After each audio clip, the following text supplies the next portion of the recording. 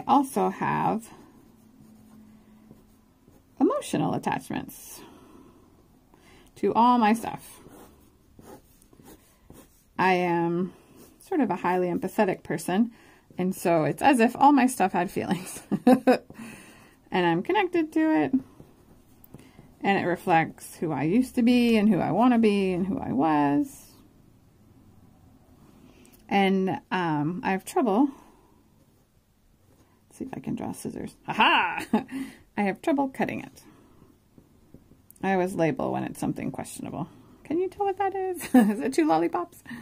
So, my thought, my theory is that, okay, this is, we're going to add that this is Becky's theory because we are all going to test it together and you'll let me know how helpful you think it is.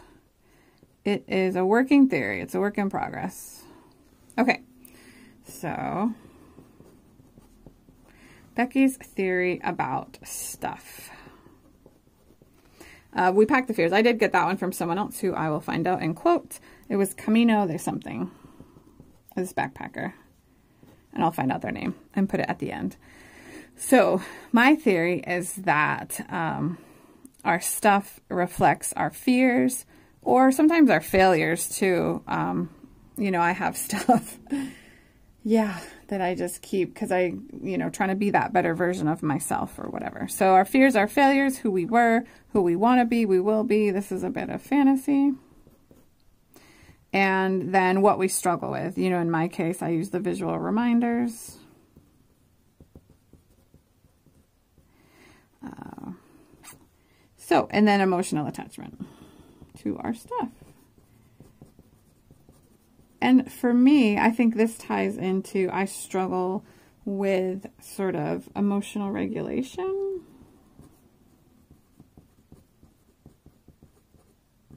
I can fall into um, anxiety or depression. I sort of naturally, I'm a bit of an Eeyore. I wish I could draw a Eeyore. I don't know if I can. Has a little tail. Um, I sort of naturally fall a bit more on the Eeyore spectrum. So, uh, I tend to, my emotions tend to go down. So,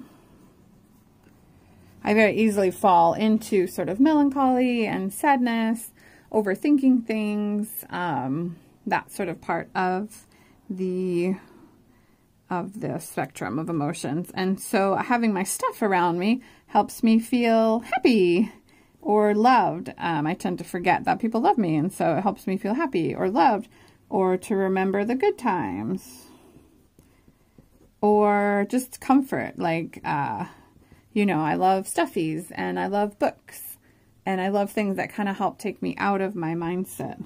So I definitely have too many books well, I don't know if I have too many, but I have a lot of books. I have stuffies. I tend to have knickknacks.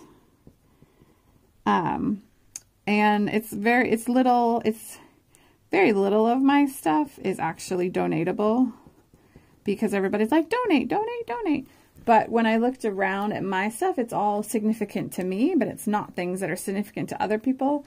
And so it's sort of like me or the garbage, but I feel like they're still useful and I feel sad about throwing them away and it feels wasteful. And then I also feel sad that it's come to this. so there's just a lot of emotions, kind of a little emotional storm about dealing with all this stuff.